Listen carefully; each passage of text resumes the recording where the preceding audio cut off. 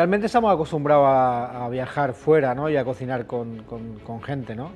Eh, lo bueno que te encuentras un poco en, un sitio tan sumamente alejado ¿no? de, tu, tierra, ¿no? como es Tailandia, y, siempre es agradable encontrarte a, gente como Fatih, a gente como su equipo y a toda la gente del W.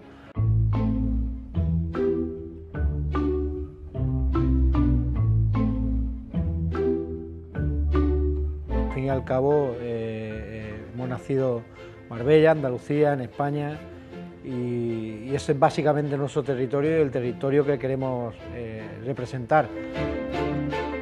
Dani Garcia, İspanyol gastronomisi için çok değerli bir isim. Ee, Kendisini yıllardan beri takip ediyorum. Ee, Çok genç yaşta e, başarıyı yakalayan şeflerden biri. Ee, burada onunla beraber yemek yapmak benim için çok e, güzel bir duyguydu. Beraber bu yemeği hazırlarken gerçekten çok eğlendik.